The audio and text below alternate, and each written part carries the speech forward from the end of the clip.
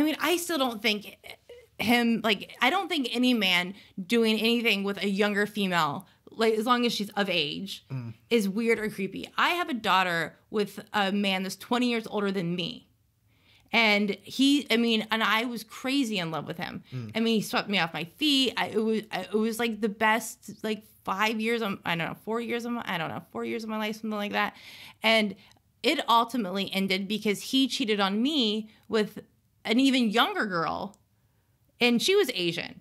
And it, and I was, I so I mean, it's almost like I was born. It's almost like I was born to defend Woody Allen. Okay, so oh, and it and anyway, so and that turned into like Stockholm this syndrome going on, I think here, Saundra. and this turned into like some horrible like love triangle. I mean, where ultimately he ended up leaving both of us for an even For an younger, even girl. younger girl. Exactly. Yeah. And somewhere along the line, I would have line, guessed that. I to- I know I should have red flag. I should have should have seen it was coming. she Asian as well, or just No, like he no, no. And then he left her for uh, well, uh, no, no. Then he left her for a, a Filipino, but she was older. I mean, she's still younger than me, but she was older than the last girl that he left. Both me I and see. this, yeah. Right. Anyways, but somewhere along the line, I ended up losing a wakeboard boat, and I gained a piano, and I don't know who used to own this piano, but I'm just assuming whoever used to play this piano has my Air Nautique sitting in their garage.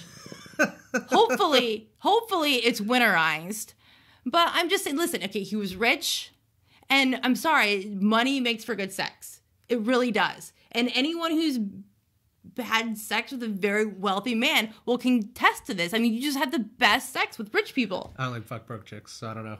Anyways, and I'm like, it's, it, listen, if your relationship doesn't end with like broken windows and cars being keyed, you just didn't Did have you good really sex. So I had to leave that relationship because once I found out there was a third girl involved, I'm like, oh, this is even too crazy for me. Like, I'm not Right. even there's there's no way. I'm not. What am I fighting for here? Like, I, I'm not. Who am I fighting against? Like, this is just too crazy for me.